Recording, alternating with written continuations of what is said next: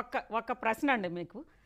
ఉత్తరాంధ్రకి సంబంధించి ఉత్తరాంధ్ర అభివృద్ధి కానీ ఉత్తరాంధ్ర ఆత్మగౌరవం కానీ ఉత్తరాంధ్ర రూపురేఖలు మార్చి విశాఖపట్నం ఎక్కడుందా అని చెప్పి ప్రపంచం అంతా వెతుక్కునేట్లు చేసిన స్టీల్ ప్లాంట్ మీ ఆత్మగౌరవం అంటారా? లేదా ఎవరన్నా వచ్చి ఆ స్టీల్ ప్లాంట్ ప్రైవేటీకరణ జరుగుతుంటే ఇది జరగొద్దు మనం కాపాడుకుందాం అని చెప్పి వచ్చి అక్కడికి వచ్చి కార్మికులకి మద్దతు ప్రకటించి అక్కడ సభ పెడితే మీ ఆత్మగౌరవానికి దెబ్బ గల- తగులుతుందా? లేదంటే స్టీల్ ప్లాంట్ని అమ్మేస్తే మీ ఆత్మగౌరవానికి దెబ్బ తగులుతుంది? ఈ రెండిట్లో ఏది మీ ఆత్మగౌరవం?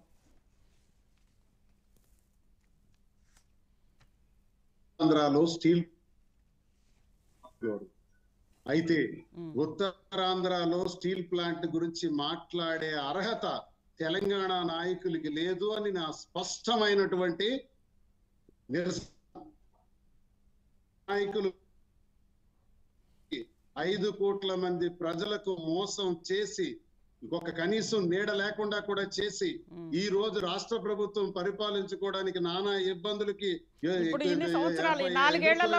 చేసి రాష్ట్ర విభజన కారణమై మా ఉత్తరాంధ్ర ఉద్యమంలో మా ఉత్తరాంధ్ర. ఉమ్, చాలా గట్టిగా చేశాం ఉమ్, సమైక్యాంధ్ర ఉద్యమంలో. ఈ రాష్ట్రాన్ని కోల్పోయి ఈ రాష్ట్రాన్ని విడిపోయిన తర్వాత మేము ఆత్మక్షోభతో ఉన్న మా ఉత్తరాంధ్ర వాసులకు సంబంధించి మాట్లాడే అర్హత తెలంగాణ నాయకులకి ఎవరికీ లేదని రైట్ చెప్తున్నాను. రైట్ ఇక్కడ అంటే తెలంగాణ. నాయకులు మాట్లాడమే మీ అభ్యంతరకరం అంతేగాని మాకు తెలుసు. దానికి సేవా సమితి పరిరక్షణ కమిటీ ఉంది. దానికి సంఘ కమిటీస్ అన్ని ఉన్నాయి అవి నిర్ణయించుకుంటాం మేము కాపాడుకుంటాం మా జగనన్న కాపాడుతారు జగనన్న ఇక్కడ స్టీల్ విషయం, ఇక్కడ ఒక్క విషయం, శ్రీనివాస్ గారు. శ్రీనివాస్ గారు. జగనన్న మ్. దేవుడు మ్. ఉత్తరాంధ్రకి. జగనన్న ప్రతి క్షణం కూడా కంటికి రెప్పలా కాపాడుకుంటున్నటువంటి మా నాయకుడు ఉండగా మ్.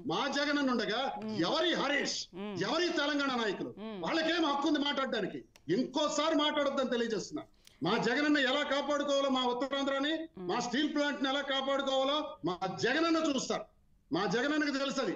ఆయనకు ఆయన ముందు మీరు వచ్చి కుప్పిగెంతులు గంటలాడుతూ మాట్లాడడానికి అర్హత లేదని స్పష్టంగా తెలియజేస్తున్నారు.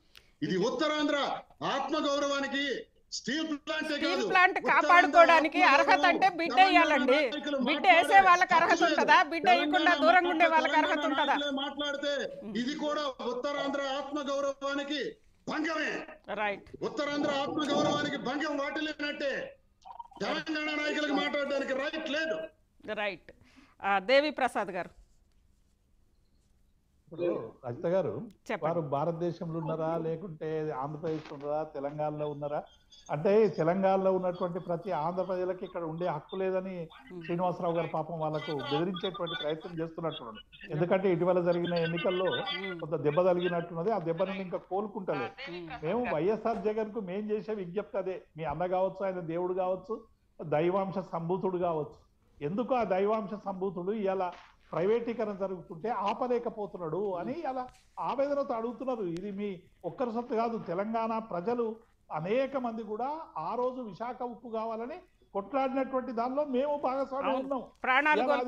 తీరప మీరు నోరు చనిపోయారు. మీరు నోరు మూసుకొని ఎవరికో కంట పెడతామంటే మేము ఊకోము కాపాడుకోవడానికి ఎక్కడ పడుకున్నారు? మా ప్రయత్నం మేము హరీష్, చేస్తాం. మీలాగా ఎక్కడ పడుకున్నారు? పిచ్చి మాటలు మాట్లాడి వస్తే ఆంధ్రలో వస్తే? ఇక్కడికి జరుగుతాము సీమాంధ్రలో వస్తే ఇక్కడికి గుర్తొచ్చింది మేము మేము చాలా సంయమనంతో చెప్తా ఉన్నాము.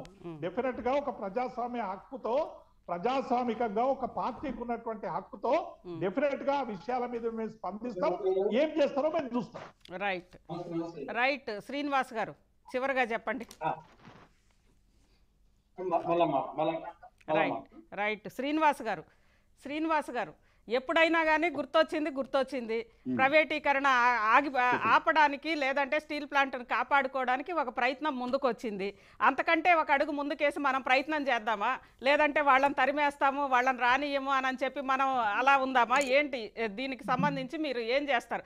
ఇక్కడ ఒక్క విషయం. శ్రీనివాస్ గారు శ్రీనివాస్ గారు ఒక్క సెకండ్ ఒక్క సెకండ్ మీకు తెలుసు.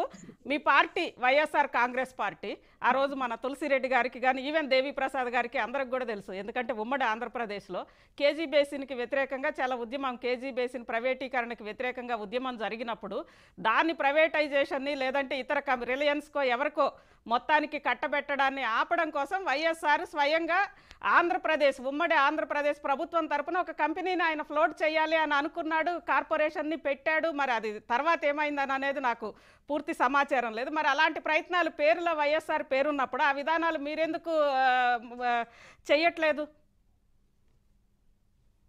దాని మీద మీరు పూర్తి అవగాహనతో మాట్లాడలేదు మేడం. ఉత్తరాంధ్రలో ఉన్నటువంటి కేజీ బేసిన్కి సంబంధించి ప్రతి ఇంటికి ఓ గ్యాస్ కనెక్షన్ ఇవ్వాలి.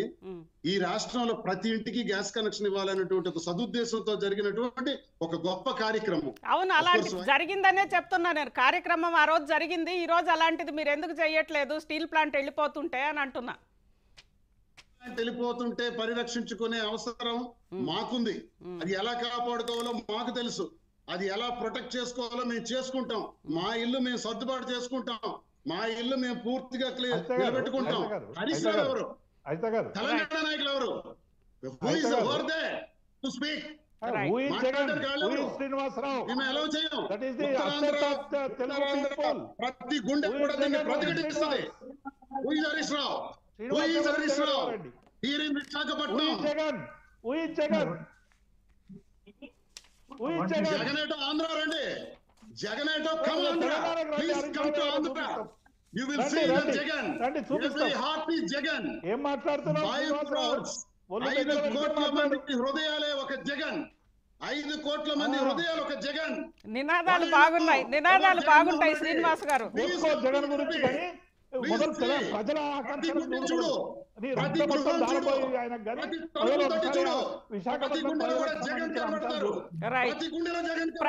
గోడకైతే కనిపిస్తున్నారు. శ్రీనివాస్ గారు మేము ఒప్పుకుంటాం. ప్రతి గోడకైతే స్టిక్కర్లు అంటిస్తున్నారు. ఒక కోటి లక్షల ఇళ్ళలో. జగన్మోహన్ రెడ్డి. వాళ్ళ గుండెల్లో డిబేట్. ఒక్క సెకండ్ శ్రీనివాస్ గారు ఒక్క సెకండ్ మనం శ్రీనివాస్ గారు ఒక్క సెకండ్. హరీష్ రావు గారు లేవనెత్తిన అంశాల పట్ల మనం చర్చిస్తున్నాం తప్పితే వ్యక్తిగతంగా హరీష్ రావు ఎవరా లేదా జగన్మోహన్ రెడ్డి ఎవరా? ఇది కాదు చర్చ. లేదు? శ్రీనివాస్ గారు ప్లీజ్. మీరు అలా మాట్లాడ ఎందుకంటే ఆయన లేవనెత్తిన అంశాల పట్ల మీరు అభ్యంతరం ఉంటే చెప్పాలి. కానీ ఆయన ఎవరు జగన్ ఎవరు? ఇవన్నీ కూడా చర్చ కాదు కదా. జగన్ ఎవరు? హరీష్ ఎవరు? అంటే ఏమన్నట్టండి? అర్థం? కాదు. రైట్ అసలు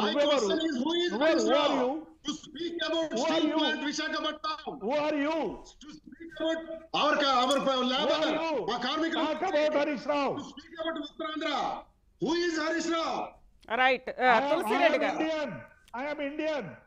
తులసిరెడ్డి గారు దేవి ప్రసాద్ గారు దేవి ప్రసాద్ గారు మీరు. మాట్లాడినాక తులసిరెడ్డి గారితో ఎండ్ చేద్దాం? దేవి ప్రసాద్ గారు. నేను- అయిత గారు అయిత గారు. ఇక్కడ అంటే రెచ్చగొట్టుకునే వద్దు సమస్య పరిష్కారాలు లేదంటే హరీష్ రావు గారు మాట్లాడిన ఇట్లా పిచ్చి పిచ్చి మాట్లాడితే మేము కూడా పిచ్చి పిచ్చి మాట్లాడాల్సిన అనివార్య స్థితికి వస్తాము అజిత గారు. ఎందుకంటే సంయమనంతో మాట్లాడాలని విజ్ఞప్తి చేస్తున్నా జాతీయ పార్టీ దేవి? ప్రసాద్ గారు? మేము ఒక జాతీయ నేషనల్ పార్టీగా, ఒక పార్టీ. జాతీయ ప్రత్యామ్నాయంగా ఉన్నాము. ఇవాళ వ- వస్తామా రామా ఎన్నికల్లో మీరు ఓటేస్తారా ఓటేయరా అదంతా పక్కకు పెడదాం అజిత గారు. ఉమ్, ఇవాళ ఇంత ఇంత గొప్పలు చెప్పుకొని అడుగడుగునా జగన్ గుండె గుండెన జగన్ అంటున్నటువంటి శ్రీనివాసరావు గారు ఆయనకేమన్నా పర్పస్ మొదలు ఇంట్రెస్ట్ పెట్టి క్యాన్సిల్ చెప్పిమనండి ఐదు వేల ఆరు వేల కోట్లు ఎన్నైనా మేము రాష్ట్ర ప్రభుత్వం పెడుతుంది. ఇది క్యాన్సిల్ చేయడానికి పొద్దున ప్రకటన చేయమనండి. మమ్మల్ని ధనుడు కొట్టుడు కాదు. ఫస్ట్ ఆ చేయాల్సిన పని చేయమనండి. ఎవరికి ఎంత దమ్ము ఉన్నదో ఎవరికి ఎట్లా కొట్లాడుకుందామో ఆ తర్వాత చూసుకుందాం మనం రాజకీయ పార్టీలుగా. కానీ ఆంధ్ర ప్రజలు ఇలా చెందుతున్నటువంటి ఆవేదనను దూరం చేసేటువంటి ప్రయత్నం చేయమని నేను రిక్వెస్ట్ చేస్తున్నాను వాళ్ళలాగా మేమేం సమయం కోల్పోయి ఇష్టం వచ్చినట్టు మాట్లాడడానికి లేదు. ఎవరైనా జగన్ అయినా ఒక ముఖ్యమంత్రి హరీష్ రావు ఒక ఒక మంత్రి శ్రీనివాసరావు ఒక శాసన. మండలి సభ్యుడు. ఎవరికైనా ఎవరికైనా ఒక గౌరవంతో మాట్లాడాలి. ఆయన ఎవరు ఈయనెవరు అని మాట్లాడితే అయిపోతుందా? అసలు వైఎస్ఆర్ ఏం చేసింది తీర్మానం? తెలంగాణ ఉద్యమ సందర్భంగా ఎవరేం పాత్ర వహించారు ఎవరెవరు ఏం చేసిండ్రు ఇవన్నీ మన కళ్ళ ముందున్న సజీవ సాక్ష్యాలు. ఇవాళ ఎవరేం చేస్తున్నారు? రేపు ఏం జరగబోతుంది? ఇవన్నీ కూడా తెలిసినటువంటి వాళ్ళుగా ఒక రాజకీయ సమయంతో మాట్లాడాలి. ఉత్తరాంధ్రకు వస్తే తంతడు తగలెత్తాడట. అంటే ఇక ఉత్తరానే పోతారా? గాలి మొట్టలో పోతారా? ఇక దిగరే దిగరా? ఎక్కడ మీరు? ఏం మాట్లాడతారు? కనీసం సమయంతో మాట్లాడండి. మీ విషయాలు చెప్పండి. మీరు రాష్ట్రాన్ని అద్భుతంగా తీర్చిదిద్దుతున్నారా? అమృతం ఇస్తున్నారా? అమృతం భాండాగారాలు ఇస్తున్నారా? ఏం చేస్తున్నారు? మీ ప్రజలకు మీరు చెప్పండి. మేము వద్దంటలేము. కానీ మీరెవరని మాట్లాడేటువంటి నైతిక హక్కు ఈ. దేశంలో ఎవరికీ. భారతదేశ పౌరుడుగా డెఫినెట్గా ఈ. భారతదేశంలో జరిగినటువంటి అన్యాయాల్ని ఏదో రకంగా ఏదో ఒక వేదిక మీద మేము ప్రశ్నిస్తూనే ఉంటాం ఒక రాజకీయ పార్టీగా ప్రశ్నిస్తాం ఒక పౌరుడుగా ప్రశ్నిస్తాం ఒక ప్రజాస్వామిక వాదులుగా మేము అడుగుతాం. రైట్ హక్కు లేదంటే ఎట్లా అండి తులసిరెడ్డి గారు చివరిగా తులసిరెడ్డి గారు. విశాఖ ఉక్కు విశాఖ ఉక్కు ఆంధ్రుల హక్కు అనే నినాదంతో వచ్చింది. విశాఖ ఉక్కు ఉత్తరాంధ్ర హక్కు కాదు. విశాఖ ఉక్కు ఆంధ్రుల హక్కు.